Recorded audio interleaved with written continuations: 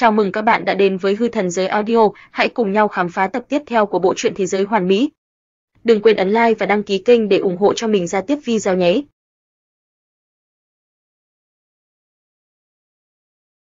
Quần hùng tan rã, bắt đầu lưu vong, từ nơi sâu trong dãy núi chạy trốn ra ngoài, máu nhuộm đỏ cả vùng núi, những thi thể lần lượt nằm xuống, hoàn toàn đã không thể nhìn ra được hình dạng như thế nào nữa. Thường ngày, cường giả trừ giáo đều ngạo thị một phương, tư thái vô cùng cao ngạo, thế nhưng hiện tại lại vô cùng hoảng sợ, tất cả đều chạy tán loạn, máu tươi tung tóe khiến người khác chấn động. Ngay cả đến những người điều khiển bảo cụ, ngự không bỏ trốn cũng không thể thoát, thiếu niên ở phía sau như là một vị ma thần quét ngang hết thảy, vu vu một tiếng, ký hiệu màu vàng óng giống như là sóng lớn bao phủ cả núi sông, khiến cho hàng loạt người trên không trung lẫn dưới đất đều nổ tung. Nơi này quả thật như là một vùng ma thổ, máu tươi bắn tung tóe cao đến 3000 thước, sống và chết chỉ cách nhau bởi một cái búng tay, rất nhiều cường giả chết đi khiến những kẻ khác khiếp sợ, khó lòng tin nổi. Thạch Hạo ra tay vô tình, nó ung dung và bình tĩnh, một bước bước ra, núi sông lui lại, ở phía sau có một đôi cánh côn bằng khiến cho tốc độ của nó tăng lên một đoạn dài.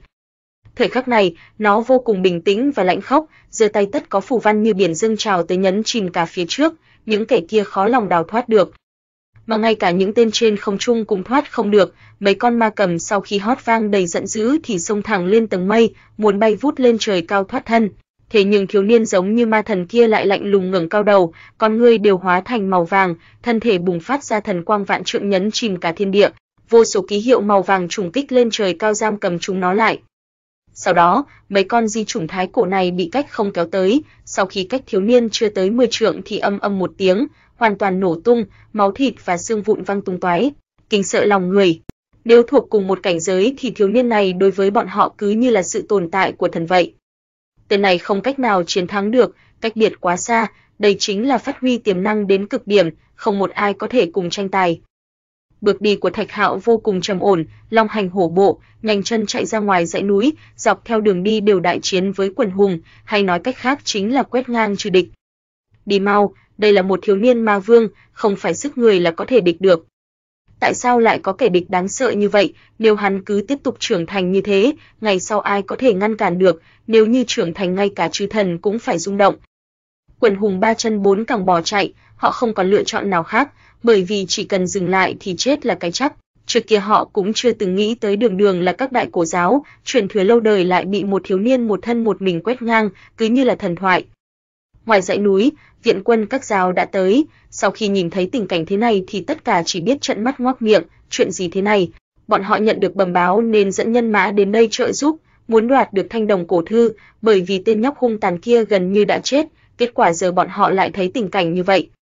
Trốn, trốn mau, không nên dừng lại, một cường giả chạy ra ngoài, máu me khắp người, hét thật lớn về phía người của môn phái mình, cố gắng cảnh báo.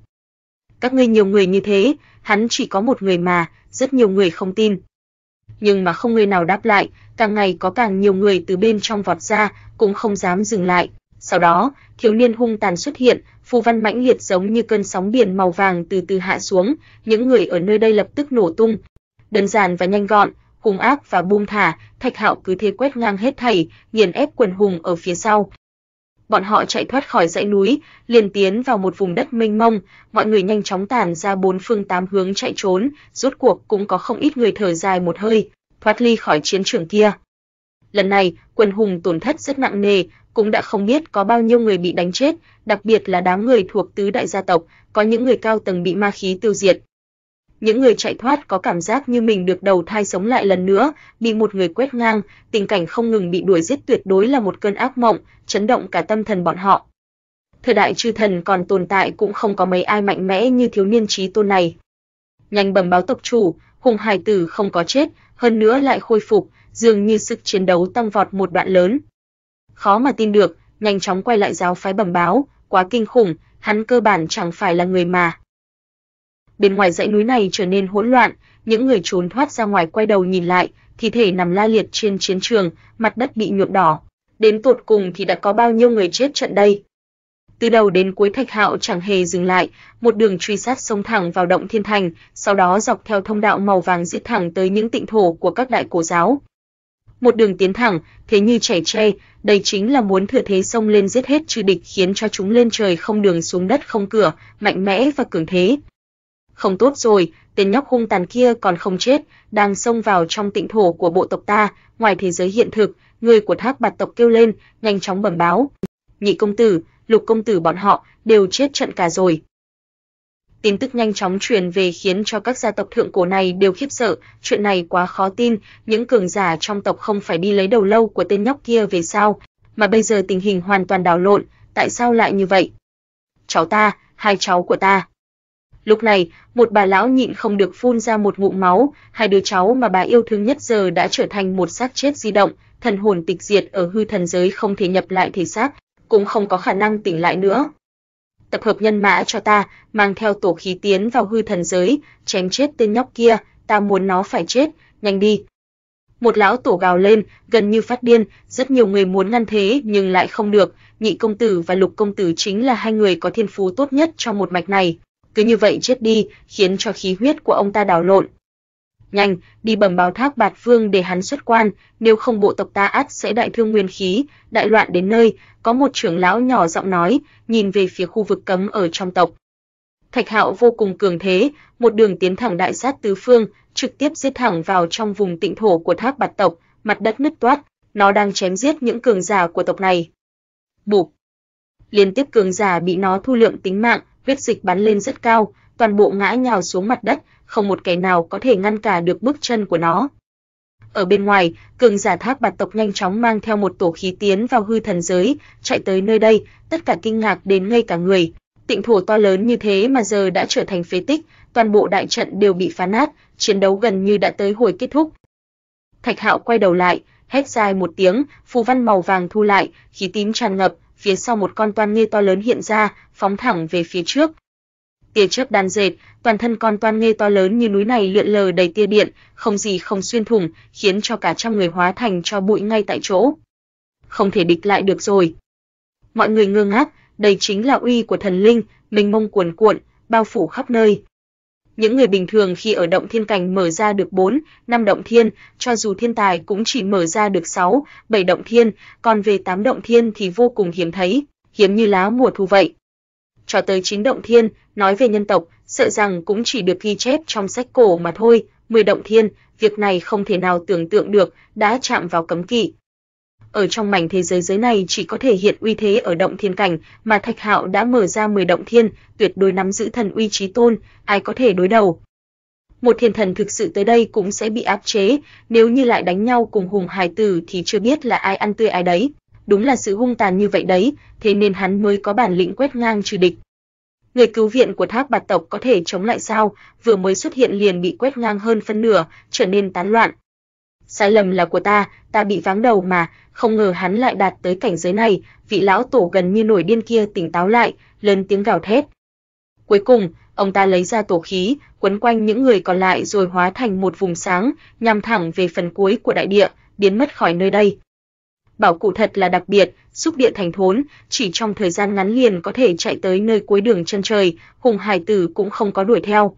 Cuối cùng, nó rời khỏi nơi đây, lại tiếp tục việc chém giết, giết thẳng vào trong vùng tịnh thổ của tứ đại gia tộc, tốc độ nhanh đến cực điểm, thế như trẻ tre, thần uy vô địch trấn áp hết thảy đối thủ.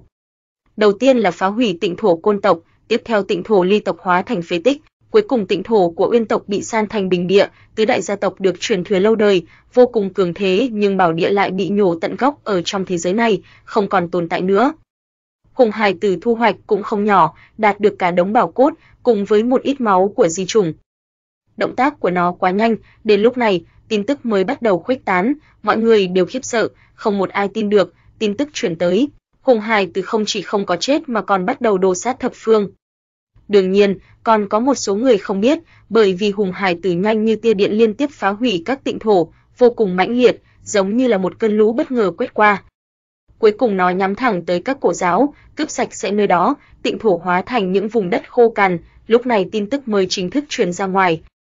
Hư thần giới chấn động, không một ai có thể tin được tất cả những chuyện này, lúc này mới trải qua bao lâu chứ, chỉ trong vòng một ngày là phá đi tịnh thổ của chư giáo, đánh đầu thắng đó, thật là thiếu niên thiên thần hàng thế. đây là sự thật à, tên nhóc hung tàn không có chết mà còn quét ngang quần hùng, một thân một mình nhổ sạch mấy vùng tịnh thổ lớn kia, ta không tin. Trời ạ, tin tức vô cùng lớn, sức bùng nổ vô cùng mãnh liệt, cùng hài tử nhân thần cộng phẫn nghịch thiên đến như vậy, chỉ trong vòng một ngày mà đã quét sạch rất nhiều đại giáo lớn như Thác Bạt, bình định cả phúc địa của bọn họ luôn. Ngày hôm đó, bất kể là ở hư thần giới hay là thế giới hiện thực đều bị một thiếu niên bức đến nông nỗi này, đã vượt qua lẽ thường, một người quét ngang trừ địch, mạnh mẽ đến kinh khủng, khó có thể tin được. Mấy cổ quốc lớn, tất cả cường giả đều chấn động, rất nhiều vương hầu, rất nhiều giáo chủ toàn bộ bị kinh động rời khỏi nơi bế quan, tỉ mỉ tìm hiểu tình hình từ tộc nhân mình. Trong các cổ quốc, rất nhiều cường giả đều chấn động, rất nhiều vương hầu, giáo chủ cũng bị kinh động từ nơi bế quan mà ra, bọn họ đều hỏi tộc nhân tỉ mỉ sự tình đang diễn ra. Ngay cả đến mấy vị nhân hoàng cũng phải ngạc nhiên, cặp mắt mở to như nhìn xuyên thẳng qua hư không vô tận, ngóng nhìn về một nơi nào đó trong hư thần giới. Ngày hôm đó, cả hoang vực chấn động, những tin tức này cứ như là con lốc bao phủ mọi nơi, tất cả mọi người đều run rẩy, mà những người thuộc Bổ Thiên các còn sống sót thì kích động đến run lẩy bẩy, nhiệt huyết sôi trào, không nhịn được dòng lệ nóng ngửa mặt lên trời gào to, họ khôn cần phải sầu lo nữa. Cho dù Bổ Thiên các có diệt sạch đi nữa, chỉ cần còn lại mỗi Thạch Hạo thôi thì cũng đủ khả năng khai sáng thêm một đại giáo huy hoàng như xưa, tịnh thổ lại được mở ra. Chuyện này khiến cho bọn họ vui mừng nên mới rơi lệ. Lẽ nào hắn đã mở ra 10 động thiên, nếu không thì sao mạnh mẽ như thế chứ, vượt qua cực hạn rồi. Có người suy đoán như thế, nếu không cũng không cách nào nghĩ thông được. Không thể, nếu như mở ra 10 động thiên, nhất định hư thần giới sẽ có biểu hiện nào đó, trên bia kỷ lục sẽ xuất hiện chữ, thông báo các nơi. Có người lắc đầu, cũng không tin vào lý luận này. Có gì đó mờ ám, nhất định có mờ ám, một lão già đã thành tinh như phát hiện ra dị thường nào đó, tên hùng hải tử quá mạnh mẽ, hẳn là đã vượt qua động thiên thứ 9. Trong lúc khắp nơi chấn động thì bước chân của Hùng Hải Tử cũng chưa dừng lại, vẫn như cũ cứ một đường sông thẳng quét ngang các cổ giáo lớn, cái bọc ở sau lưng nó căng phồng cả lên, gần như không thể chứa thêm được chiến lợi phẩm nào nữa. Rút cục, nó gặp phải đại địch, Ly Long lại xuất hiện tự tìm tới cửa, muốn quyết chiến cùng với nó. Chưa đủ trình, đầu tóc đen của Thạch Hạo rối tung, cả người rực rỡ sáng bóng, bảo quang lưu chuyển, con ngươi trong suốt, khi nó nhìn thấy đối thủ thì chỉ nói ba chữ như thế, toàn thân ly long lấp lánh, vảy dày đặc giống như đúc từ tiên kim vậy, phù văn lượn lờ toàn thân, lại giống như bó đúc bốc cháy, khiến cho người khác sinh ra cảm giác mạnh mẽ tuyệt luân, không thể đứng ngang hàng được.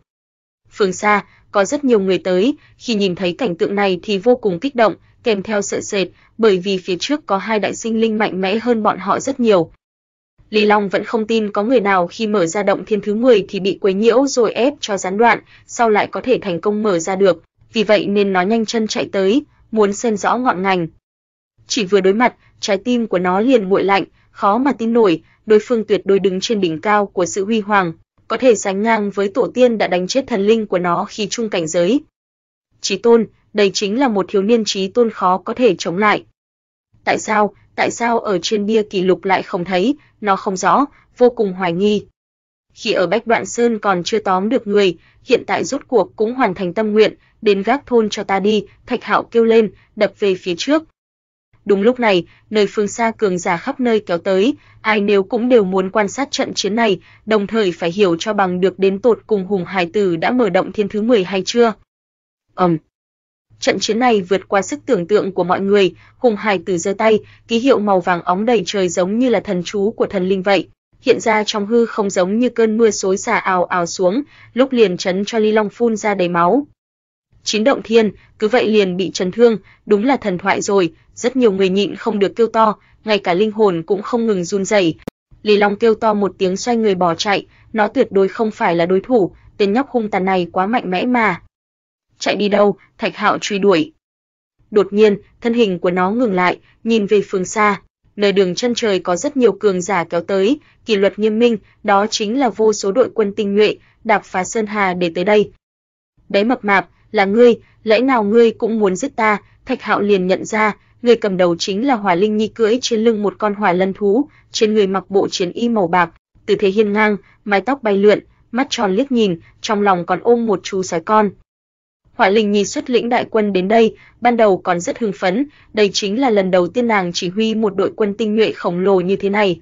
Thế nhưng khi nghe được ba chữ bé mập mạp thì gương mặt lập tức trở nên xám xịt, tức đến muốn phun cả máu, dung nhan tuyệt thế tràn đầy phận uất.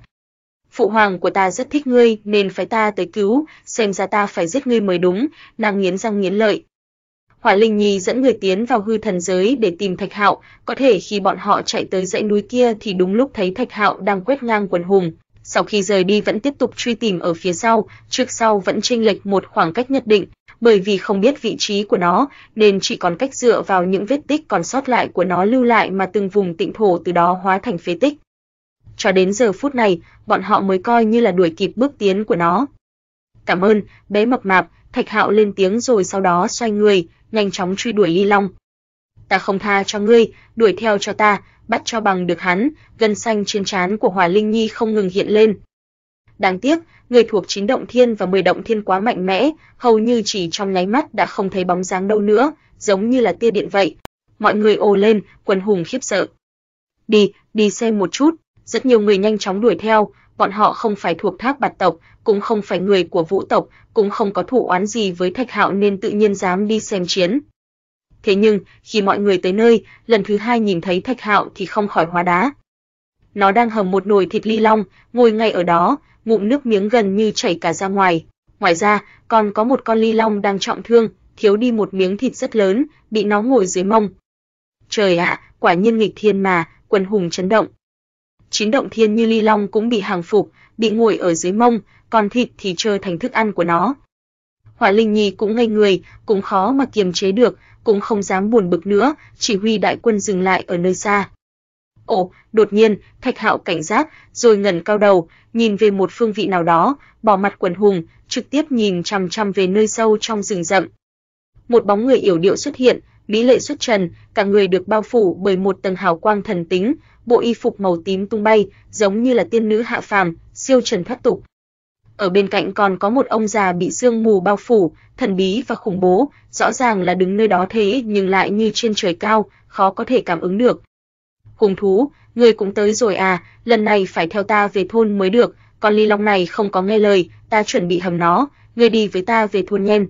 Thạch Hạo đứng dậy, trừng cặp mắt thật to, quay hàm hếch lên nói lớn về phía thiếu nữ áo tím. Thiếu nữ áo tím trông thư thái và tỏa sáng, một tầng mây khói bao phủ, tay áo phất phơ, hào quang thánh khiết chiếu rọi như quảng hàn tiên tử xuất trần. Nhưng sau khi nghe Thạch Hạo nói nàng không bình tĩnh được nữa, trên gương mặt đẹp như ngọc tràn ngập vẻ giận dữ, nàng thực sự khó có thể chịu đựng được, mỗi lần nhìn thấy đối phương đều bị gọi là hung thú. Hung thú định chạy đi đâu, Thạch Hạo quát một tiếng rồi vọt lên, nó chủ động tấn công, nhằm vào chỗ thiếu nữ áo tím mà tấn công, trong mắt tràn đầy vẻ hưng phấn. Tất cả mọi người cả kinh, một đôi già trẻ vừa xuất hiện này tuyệt đối có lai lịch kinh người, Hùng Hải Tử lại tấn công như vậy thì quả thực là kẻ tài cao mật lớn, không biết sợ là gì. Hùng Hải Tử đáng xấu hổ, thiếu nữ áo tím tuy siêu trần thoát tục nhưng lúc này lại có một chút khói lửa bực tức, nàng thực sự không chịu nổi Hùng Hải Tử, mỗi lần gặp các nàng đều hung tàn như vậy. Vù một tiếng, tay ngọc của nàng rạch một cái, một mảng phù văn dày đặc như mưa ánh sáng bay tỏa ra bao phủ phía trước, nàng cũng xuất thủ, Thạch Hạo quát khẽ một tiếng, trong miệng phun mạnh một hơi như một con chân long vậy. Lập tức kim quang dương trào hóa thành một trận cuồng phong cuốn theo một mảng phủ văn lớn màu vàng trùng kích về phía trước. Trong khoảng khắc nơi này cát bay đá chạy, tiếng u u điếc tai, sóng khí giống như cơn lốc đột ngột nhổ bật cả rễ các cây đại thụ ở xung quanh cùng với rất nhiều cự thạch quay cuồng mà đánh lên trời cao. Ầm một tiếng, phù văn màu vàng bẻ gãy nghiền nát đụng nát mảng phù văn, xuyên thủng cốt văn bảo thuật của đối phương, mạnh mẽ hủy diệt hoàn toàn mọi người hoảng sợ, Hùng Hải Tử rốt cuộc kinh khủng đến mức nào, chỉ phun mạnh ra một hơi mà thôi thì đã có uy thế như vậy, mạnh cũng hơi quá mức. Thiếu nữ áo tím biến sắc, nàng đến từ Thái Cổ Thần Sơn, có thiên tư ngút trời và thân phận kinh người, dĩ nhiên đã nhìn ra Hùng hài Tử mạnh mẽ và đáng sợ. Nó quả nhiên đã mở ra động thiên thứ 10, bên trong dưỡng phù văn, bên ngoài đoạt tạo hóa của trời đất, giơ tay nhấc chân đều là thủ đoạn công kích trí cường, dù nó chỉ phun ra một ngụm tinh khí cũng ẩn chứa phủ văn bảo thuật mạnh mẽ có thể phá thần binh lợi khí. Hùng thú chạy đi đâu, hôm nay cảnh giới của ta không thua gì ngươi, chẳng cần phải vật lộn cũng không sợ bảo thuật trùng kích của ngươi, Thạch Hạo kêu gào. Thiếu nữ áo tím siết chặt nắm tay nhỏ bé trắng như ngọc, nàng căm hận nhất hai chữ vật lộn, thật sự quá nhạy cảm. Những chuyện trải qua ở Bách Đoạn Sơn khiến nàng cho đến giờ khi nghĩ đến vẫn muốn phát điên. Nàng là nữ thần trong con mắt các thiên tài của các tộc, siêu nhiên không gì sánh được, ngay cả con cháu của thần linh đối với nàng đều không dám vô lễ, bất luận đi tới đâu cũng như sao quanh trăng sáng được mọi người vây quanh như thánh thần. Lúc thường ngày ai dám khinh nhờn, chưa nói chạm vào thần thể ngọc ngà của nàng, ngay cả cơ hội đến gần cũng không có, chỉ có thể từ rất xa mà ngưỡng mộ. Nhưng hùng hài tử trước mặt kia lại không như vậy, trả trách khiến người ta phẫn nộ. Ở Bách Đoạn Sơn lợi dụng cơ hội ôm cổ trắng ngần của nàng, thậm chí cắn vành tai óng ánh của nàng, vật nhau oành oạch oành oạch với nàng, lăn lộn đầy đất. Đó thực sự là một đoạn kinh lịch nghĩ lại mà đau đớn lòng, kẻ này tuyệt đối là độc thủ hủy diệt nữ thần, việc này nếu bị truyền đi sẽ gây náo động lớn, nhất là nếu truyền đến lãnh thổ của nàng, Tuấn Kiệt và thiên tài thái cổ thần Sơn khẳng định sẽ được mặt ra, cầm sẽ rơi đầy đất. Vẫn còn may, bây giờ còn chưa có ai biết. Doạt. Trong tay thiếu nữ áo tím xuất hiện một cái sừng thần sáng rực, nàng gắng sức vạch một đường đập tới, Thạch Hạo nhất thời rùa một chập, nó cấp tốc tránh né. Cái sừng này rất đặc biệt, nó tỏa ra quang huy có thể phá vỡ cốt văn, cắt thẳng tới gần người khiến kẻ khác khó lòng phòng bị. Hùng thú, đó là cái gì vậy? Ngươi đang ép ta cận chiến hay sao? Thạch Hạo trợn tròn mắt, nước bọt bắn ào ào, lại xông về phía trước, nó chẳng ngại lại vật lộn một lần nữa. Thiếu nữ áo tím nhanh chóng rút lui, đang ở trước mắt bao người nên nàng cũng không muốn đấu vật quỳnh quịch lăn lộn đầy đất với hùng hải tử ngay ở chỗ này. Nếu quả thật phát sinh chuyện như vậy chắc nàng sẽ phát khủng mất. Xẹt hào quang sáng lạn, một vùng quang huy rực rỡ chiếu rọi ở bên tai nàng, hình thành một màn sáng ngăn trở thế tấn công của Thạch Hạo khiến nó không thể đến gần. Bóng tay này hình như tốt hơn so với cái trước, được trí cường giả tế luyện qua, có sức mạnh của thần đang chuyển động, mắt Thạch Hạo sáng rỡ, nó càng sôi sục cố sức vọt tới trước. Ầm. Um. Kết quả nó đánh ra một quyền, phù văn màu vàng kim đầy trời đánh xuyên qua màn sáng, mười động thiên là vô địch, ở chỗ này không gì có thể ngăn bước nó hùng thú bó tay chịu trói đi, hùng hải tử kêu gào ầm ĩ, bảo thuật của côn bằng xuất ra, cường phong cuồn cuộn, khí tức kinh khủng ngập trời, thần vũ lập tức che kín trước mặt. Quả nhiên là khó lường, rút cục lão nhân bên cạnh mở miệng, thân mình lão khẽ động ngăn ở nơi đó, lão đẩy ngang tới một trường, đạo âm u u như khai thiên tích địa, sương mù cuộn trào mãnh liệt, hào quang ngập trời. Ầm. Đó là một kích kinh thiên động địa, một làn sóng màu vàng hiện ra có thể thấy được rõ ràng tỏa ra bốn phương tám hướng, kết quả là núi thấp, cỏ cây, đá lớn ở vùng xung quanh toàn bộ bể nát. Nó giống như rung động thần thánh, kim quang lóe ra, nhìn như tường hòa nhưng lại vô kiên bất tồi, lấy thế không gì cản nổi mà bình định nơi này. Cánh thịt của ta, Thạch Hạo kêu to một tiếng, nó che một phía giúp cho vùng núi non này không vụn nát. Ở đằng xa mọi người hoảng sợ, âm thầm cảm thấy may mắn vì đứng đủ xa, nếu không có thể lập tức biến thành một đống bùn máu, nhất định sẽ bị làn sóng màu vàng kim quét trúng mà nổ tung.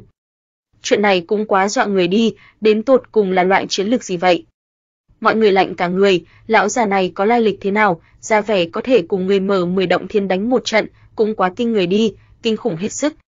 Ngươi là tộc nhân của nó, Thạch Hạo hồ nghi, nó cảnh giác nhìn về phía trước, lão nhân này quá thần bí, tựa hồ cường đại đến mức quá thái, rõ ràng lão đứng ở nơi đó nhưng lại khiến cho có cảm giác hư vô mờ mịt, phảng phất như siêu thoát ra ngoài hư thần giới. Đúng vậy, lão già gật đầu.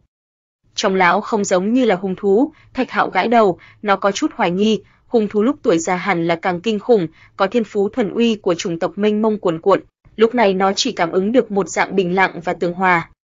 Hùng Hải Tử chỉ nói lung tung, lão già của mắng, thầy kệ nó, đại hung thú, lại tới đây, Thạch Hạo rất hưng phấn vọt tới lần nữa, gặp được một đối thủ như vậy khiến nó rất mừng rỡ. Nghe thấy kiểu xưng hô này lão già thổi dâu trận mắt. Ầm. Um. Hai người bạo phát đại chiến, Hùng Hải Tử vui vẻ hò hét, nó càng đánh càng hăng, cả người đều dâng lên hào quang, nó mạnh mẽ đến mức làm cho người ta tuyệt vọng. Nó giơ tay nhấc chân, mỗi một chiêu một thức đều có uy lực mạnh mẽ tuyệt đối, có thể quét sạch tất cả cản trở, kinh thiên động địa, các cao thủ của đại giáo đều kinh hãi, loại thực lực này, loại biểu hiện này quả nhiên xứng đáng nhận bốn chữ thiếu niên chí tôn, có tư thái thần thánh vô địch. Lão gia kinh hãi, càng đánh về sau lão càng cảm thấy chạy chật, sức lực của hùng hải tử quá cường mãnh, chấn động cánh tay lão đau nhức, sắp chịu không nổi rồi. Ta biết rồi, bao tay của lão là trí bảo, có khí tức thần linh, nếu không thì lão cũng không chống cự được đến bây giờ. Hùng hải tử tỉnh ngộ, lão già này mở được chín động thiên, mười động thiên xưng tôn, thật chỉ muốn lớn lên để bệ nghệ thiên hạ, hiệu lệnh tứ phương, chân chính là vô địch, nhưng khó có thể là lúc này. Dừng lại, ta có chuyện muốn nói, lão già mở miệng. Đưa bao tay cho ta, Thạch Hạo tấn công mạnh mẽ, nó trợn mắt nhìn chằm chằm vào trí bảo nọ. Âm âm một tiếng, một con toan nghê màu tím thần uy cái thế lao ra đánh về phía lão già, những tia sét to lớn ùn ùn kéo đến, sấm chớp khiến nhân gian khiếp sợ. Phanh! Rốt cục lão già cũng không chịu nổi, bị đánh bay lên, khói xanh bốc lên, tóc tai đầy đầu dựng cả lên. Ngừng, ta lần này là có chuyện tìm ngươi, người thanh niên không nên mất bình tĩnh như vậy, lão già quát lớn, toát ra khí tức uy nghiêm như một vị thần hàng lâm ở chốn này đang nhìn xuống. Nhưng hùng hài tử chẳng quan tâm, mắt nó sáng rực nhìn chằm chằm bao tay không dứt ra được, nó điên cuồng tấn công tới, toàn thân khí lực dùng không hết, nói chung cũng không định buông lỏng. Làm càn, lão già thét lớn, âm thanh như sấm sét làm đất trời run rẩy, cả người lão phát sáng, khí tức kinh khủng ngập trời giống như một vị thần sống lại. Nhưng hùng hài tử căn bản chẳng sợ lão, miệng nó la hét, lão mới là làm càn. Nó thừa tinh lực, cuồng công mãnh đà, mắt nhìn chằm chằm bao tay của lão già, nước bọt chảy rào rào, nó dũng mãnh không thể ngăn nổi, càng ngày càng hung hãn. Mọi người khiếp sợ. Thiếu nữ áo tím lại ngây người ra, tên gia hỏa này quá mạnh mẽ sụp sôi đi, chẳng lẽ nó thật sự không đoán ra thân phận của tổ phụ nàng hay sao? Người đến từ Thái Cổ Thần Sơn bất luận thế nào cũng đủ khiến thế nhân sợ run. Ầm. Um. Hùng Hải từ mạnh mẽ giang cánh côn bằng đánh lão già ngã lộn nhào, sau đó bảo thuật toan nghi bay ra giật điện làm cả người lão co quắp, một lũ khói đen bốc lên. Tức chết ta rồi. Lão già xoay người rời đi không hề hàm chiến, thân phận lão bực nào, kết quả lại bị một thằng nhóc chưa giáo máu đầu đánh cho một trận ở chỗ này, thực sự không muốn ở lại thêm nữa. Chạy đi đâu, để bao tay của ta lại, hùng hải tử gào lớn, nó thật dũng mạnh phi thường, chiến đấu đến lúc này cũng không chút mệt mỏi, vẫn vui vẻ như trước mà xông lên. Ầm. Um.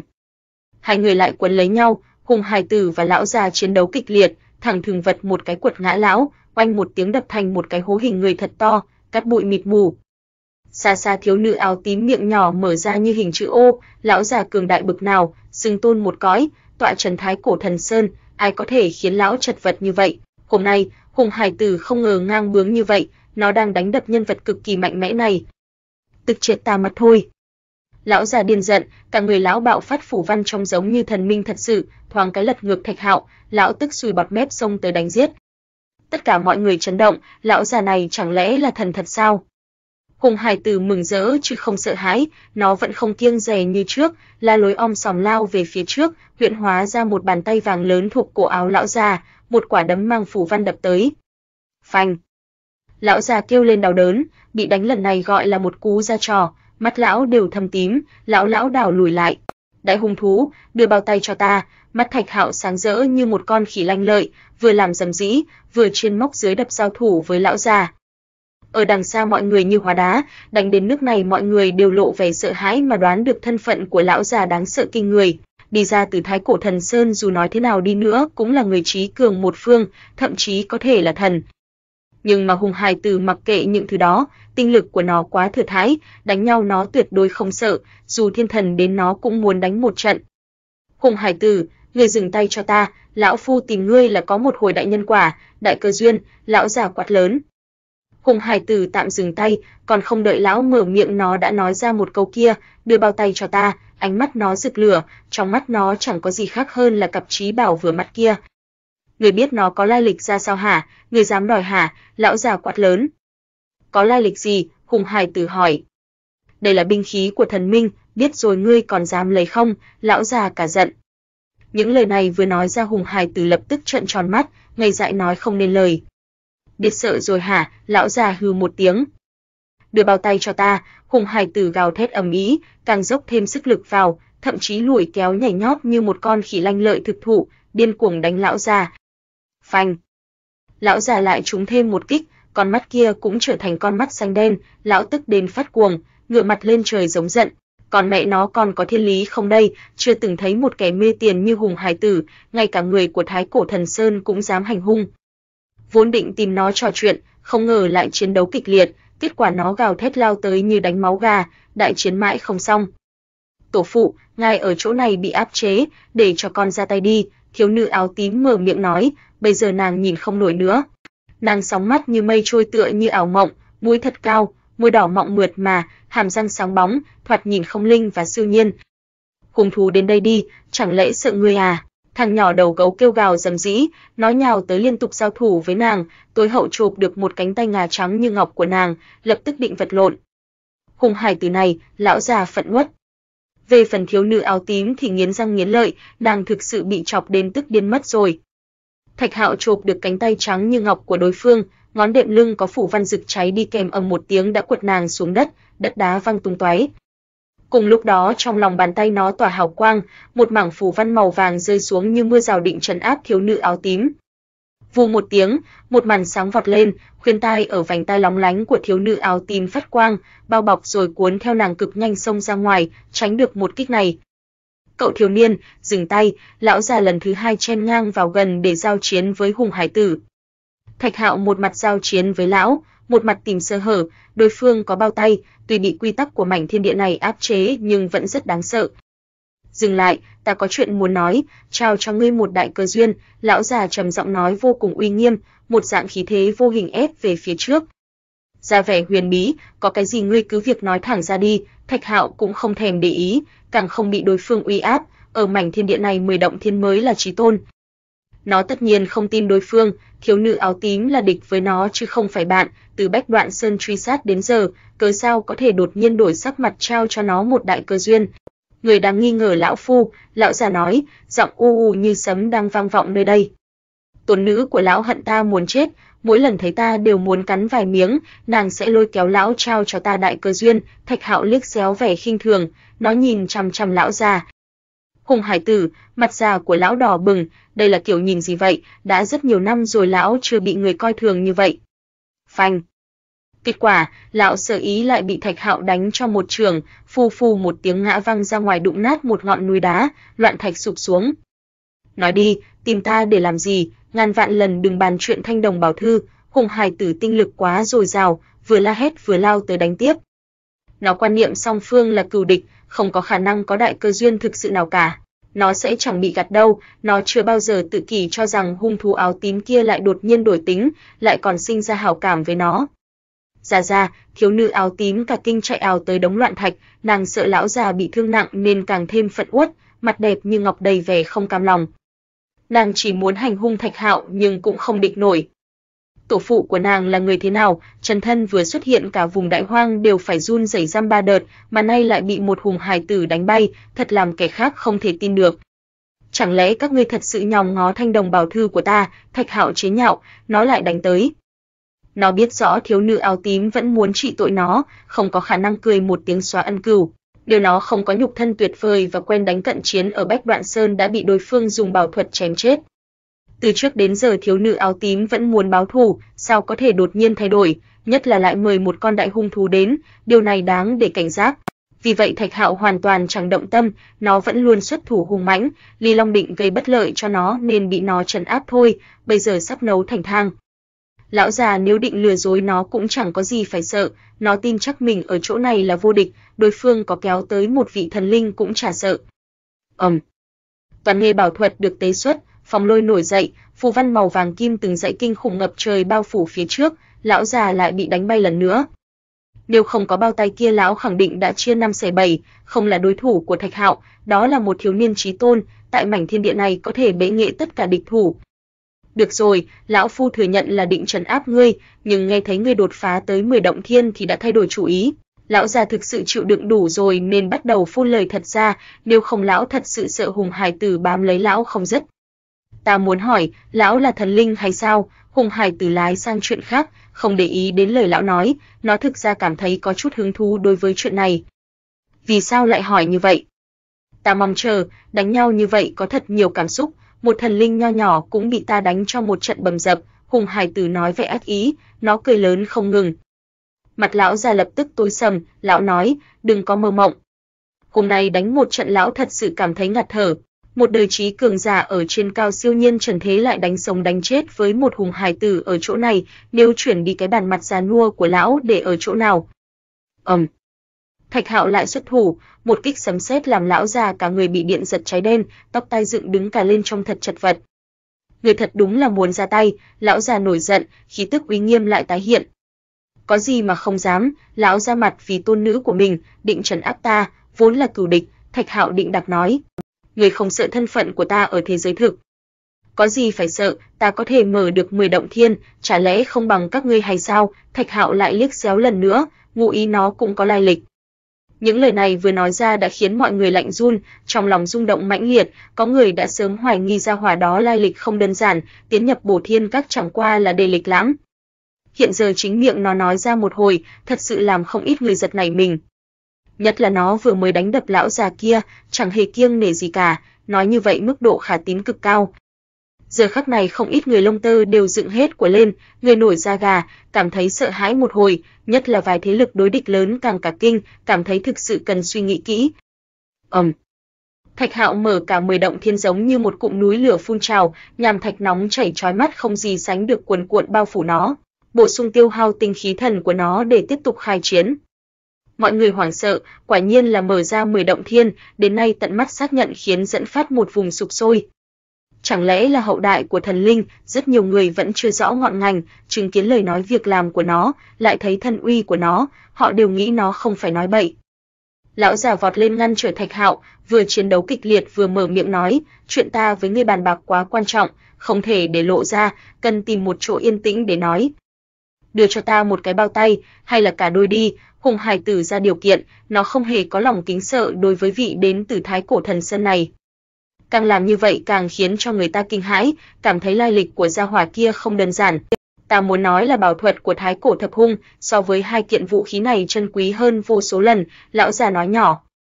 Thạch Hạo bỗng nhiên dừng tay, mắt nó trợn tròn, rốt cuộc nó bị hấp dẫn chú ý, đây chính là điều nó khát khao nhất.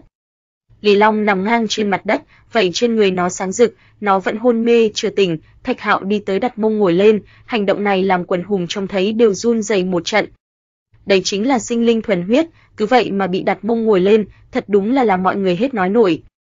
Thơm quá đi, canh trong nồi sáng long lanh, Thạch Hạo bưng lên uống, lại ăn mấy tảng thịt ly long, nó cảm thấy đúng là món ngon trong đời. Lão già đi đến gần bèn cảm thán một hồi, lão già thật rồi, một thằng bé chỉ bằng cái dám làm ra chuyện khiến lão cũng phải kinh hãi, chuyện này cũng quá biêu hãn đi chả trách gào thét đòi bắt tôn nữ của mình đến giữ làng cho nó, so với chuyện này mà nói coi như còn may mắn, còn ly long nhỏ này cũng quá suy xẻo đi.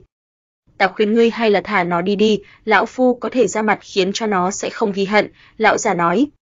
Trước hết làm cho tôn nữ của lão không ghi hận ta đã, cô nàng thật sự ép ta vật lộn, thạch hạo giang tay, nó làm ra vẻ rất bất đắc dĩ và nhức đầu, thiếu nữ áo tím trông thư thái và tỏa sáng, nàng nghe thấy những lời ấy lập tức muốn cắn nó, ai muốn vật lộn với ngươi, lần nào cũng là ngươi như đánh máu gà vậy, kêu la ầm ý sống tới. Lần nào cũng đều vì ngươi chọc ta. Nói bậy, nếu như không vì lần nào ngươi trông thấy ta cũng đều đuổi giết, ta đâu có bị ép phải vật lộn với ngươi, Thạch Hạo không phục. Được rồi, chuyện này trước hết cho qua đi, lão già nói người rốt cuộc là thuộc chủng tộc gì, rốt cuộc có phải hung thú không vậy, thật sự không định đi theo ta chứ? Thạch Hạo trong lòng đầy ước ao nhìn thiếu nữ áo tím. Lập tức sát khí ở nơi đây tăng vọt, lạnh buốt, lạnh như băng đến tận xương. "Này, lão gia tử, cô nàng lại định động thủ với ta." Thạch Hạo nói. Lão già đau đầu, tôn nữ của mình và hùng hài tử này tuyệt đối là bạo lực, Rốt cục chuyện này cũng tạm thời cho qua, lão già mở miệng nói, người không phải vẫn thích hộ tí này hay sao, nếu lấy thanh đồng bảo thư ra đổi, ta có thể đưa cho ngươi một kiện. Chẳng cần đổi đâu, ta nghĩ có thể đoạt lấy, Thạch Hạo rất hung hãn nói, suy cho cùng lão nhân này quả nhiên dự định như vậy, chưa bỏ ý định với bảo thư của nó. Sở dĩ lão lộ diện ngoài trấn áp mình khẳng định chính là vì chuyện này mà đến. Mặt thấy một hồi chiến đấu kịch liệt lại sắp sửa xảy ra, lão già vội ngừng nói, trong lòng lão uất ức, đường đường là tôn giả một phương hiệu lệnh đại hoang, ở chỗ này không ngờ bị hung uy của một hùng hài tử trấn trụ. Vậy được rồi, nói chuyện thái cổ thập hung đi, lão già chậm rãi kể. Trong thái cổ thần sơn có người phát hiện chạm khắc của thần linh để lại nói rằng tại hoang vực giáp biển có tổ của thái cổ côn bằng để lại, theo suy đoán có khả năng ẩn giấu bảo thuật cái thế đã thất truyền từ lâu. Hả? Thạch Hạo nghe vậy lập tức cả kinh, mắt nó mở thật lớn, chống ngực dồn dập, đây là bảo thuật nó cần nhất, nó vẫn một mực theo đuổi con đường này. Có loại chuyện tốt này mà ngươi vẫn tìm ta, rất nhanh nó tỏ vẻ khinh thường, lão khọm già này thoạt nhìn không phải người tử tế, nói trắng ra là muốn đến hãm hại nó. Lão già cười khanh khách, Hùng Hải Tử lại trợn trắng mắt nhìn lão một lần nữa tỏ vẻ khinh thường, hôm nay đã là lần thứ mấy rồi, rất nhiều năm rồi chưa bị người đối xử như vậy. Đó là một cấm địa, yêu cầu rất nhiều, chỉ có người ở Hóa Linh cảnh mới có thể xuất nhập, hơn nữa phải có người mở được 10 động thiên mới có thể mở thông lộ, lão già nói. Hùng Hải Tử càng thêm khinh thường lão, hơn nữa nó thiếu chút nữa xuất thủ. Lão khốn này quả nhiên không phải là người lương thiện gì cả, muốn cho nó đi mở đường, sau cùng nhất định là số bị giết, điều này còn có đường sống đáng để nói sao? Người cứ yên tâm, lần này đi vào trước khi tranh thần thông cái thế chúng ta sẽ không tự giết lẫn nhau, không chỉ nhân mã của mình chúng ta cần ngươi ở nơi đó bày ra thực lực 10 động thiên. Động thiên cảnh của Thạch Hạo viên mãn, nó phải đối mặt với cảnh giới kế tiếp là hóa linh. Người có thể tin được những điều mình nói không? Thạch Hạo khinh bỉ, tuy nó sắp tiến nhập hóa linh cảnh chỉ ngày một ngày hai, nhưng quyết đấu với chân thân một lão cổ đồng như vậy thì không xong rồi. Ta tin chứ, ta có thể dùng chớ chú phát thệ, nếu ra hại tính mạng của ngươi tất sẽ ứng nghiệm, lão già nói. Bọn họ thật sự cần người mở được 10 động thiên, nếu không căn bản không cách nào mở được thông đạo. Thượng cổ chớ chú cực kỳ thần bí, bị nhiễm khó có thể trừ tận gốc, Thạch Hạo từng chọc vào quỷ gia, kết quả là để trừ bỏ nó phải vào Bách Đoạn Sơn thực hiện lời hứa. Nhưng Hùng Hải Tử vẫn còn chưa tin, nó cũng sẽ không cho rằng đối phương tốt bụng và nghĩa khí như vậy, nói không chừng vừa mở ra thông đạo liền bị giết ngay lập tức ta nghĩ rằng ngươi cứ nên đi với ta canh gác cửa thôn còn tương đối đáng tin cậy hơn, Thạch Hạo nói với thiếu nữ áo tím. Trong nháy mắt ở đây lại căng thẳng một hồi, suýt nữa phát sinh chiến đấu kịch liệt, Hùng Hải Tử không e ngại một chút nào, nó đứng đối mặt thiếu nữ áo tím, đồng thời thở phì phò nhìn lão già. Làm ơn tin lời ta, côn bằng vẫn lạc, bảo thuật cái thế này nếu vẫn còn lưu lại trên thế gian thì thực sự chỉ có thể ở trong hải vực đó, ta tới bàn bạc với ngươi tuyệt đối có thành ý, sẽ không làm hại, lão già nói bảo thuật côn bằng xuất thế sẽ tuyệt đối làm chấn động thế gian, ngay cả mãnh thú thời thái cổ cũng ngồi không yên, cũng muốn đi tranh giành một phen, thế nhưng côn bằng bố trí cấm chế làm bọn họ không vào được. Nếu Thạch Hạo nói không động tâm thì đó là nói dối, ngày nay nó đang theo con đường này, nếu như có thể tham quan học tập thần thuật chân chính của côn bằng nhất định sẽ dung hợp và thông suốt. Cứ như vậy, lão già tận tình khuyên bảo, không ngừng thuyết phục, nói chuyện hơn nửa ngày, Thạch Hạo vẻ mặt âm tính bất định, từ đầu đến cuối chưa hề gật đầu đồng ý. Nó rất muốn đi nhưng càng muốn nện cho lão già này một chập. Đối phương biết rõ nó đang theo con đường này, chuyện hấp dẫn như vậy rõ ràng khiến trong lòng nó dao động không ngừng, nhưng nếu thật sự đi mà nói hơn phân nửa sẽ phải mất mạng. Lão gia hòa, ta chỉ biết rằng ngươi luôn luôn không có ý tử tế gì, để cho ta mở thần môn giúp các ngươi, sau đó có thể thu dọn ta cho hà giận, thật sự là nhất cử lưỡng tiện. Tiểu hữu, ngươi hiểu lầm rồi, tiểu bồi các ngươi tranh đấu ta làm sao tham gia được, huống hồ vậy cũng là tiểu đà tiểu nháo, cười trừ một cái rồi thôi, lão già nói. Người tới từ Thái Cổ Thần Sơn, giúp ta tìm hai người đi, nếu như có thể tìm được ta có thể cân nhắc, Thạch Hạo bỗng nhiên nói ra. Nó nghĩ tới phụ mẫu của mình, năm đó họ từng đi Thái Cổ Thần Sơn hái thánh dược cho nó, kết quả là một đi không trở lại, cho đến nay không thấy bóng hình. Nghĩ tới những điều này hai mắt nó chợt đỏ lên, đến tột cùng là ai, lão già nhìn thấy có thể xoay chuyển bèn vội vã hỏi. Chờ ta nhớ kỹ lại đã, ngươi trước tiên ở chỗ này đợi ta, Thạch Hạo đứng dậy vù vù chạy mất, ngay cả Ly Long cũng mặc kệ. Hoàng vực sẽ loạn, nếu như bây giờ không thể bắt được thần thông cái thế này vào tay trong tương lai khó có chỗ đứng căn cơ, cậu thiếu niên, ngươi phải suy xét cho kỹ. Lão già ở phía sau truyền âm, người khác không cách nào nghe được. Ở chỗ này chờ ta, Thạch Hạo đáp lại, khi đi ngang qua chỗ hòa Linh Nhi nó dừng chân nói, "Mập Ú, cảm ơn ngươi, sau này ta tất có hậu báo." Nó biết, Hỏa Hoàng giấy binh một là coi trọng nó, hai là khẳng định có công lao của Hỏa Linh Nhi, dù sao cũng chung đụng một hồi, ở Bách Đoạn Sơn cùng tiền thoái, nàng hơn phân nửa có góp lời. Hỏa Linh Nhi không cảm kích mà nổi báo, nàng nói, người mới là Mập Ú, cả nhà ngươi mới là Mập Ú. Thạch Hạo chạy, tốc độ cực nhanh, quần hùng kinh hoàng cuống quýt nhường đường không dám ngăn trở. Gia hỏa này ngay cả trí cường giả thái cổ thần sơn đều đánh đập như thường, gan lớn bằng trời, còn cái gì nó không dám làm. Thạch Hạo một đường chạy như tên bắn, xuyên qua thông đạo màu vàng về tới sơ thủy địa, sau đó lại mở thông đạo loại này lần nữa, tiến nhập hỗn độn phế khư địa gặp cây liễu đang cắm rễ trong không trung. Liệu thần, còn biết được tổ của thái cổ côn bằng, nó cấp tốc nói một phen, muốn hỏi nếu nó đi khi đó liệu thần có thể chi viện cho nó hay không. Nói thật lòng, nó căn bản không tin tưởng lão già kia hay những sinh linh trí cường khác, cho dù phát ra lời thề, gieo chớ chú cũng không đáng tin cậy. Duy nhất có thể nhờ cậy được chỉ có liệu thần, đến lúc đó nếu liệu thần chi viện, đều có thể mở ra một thông lộ cũng không đáng lo nữa.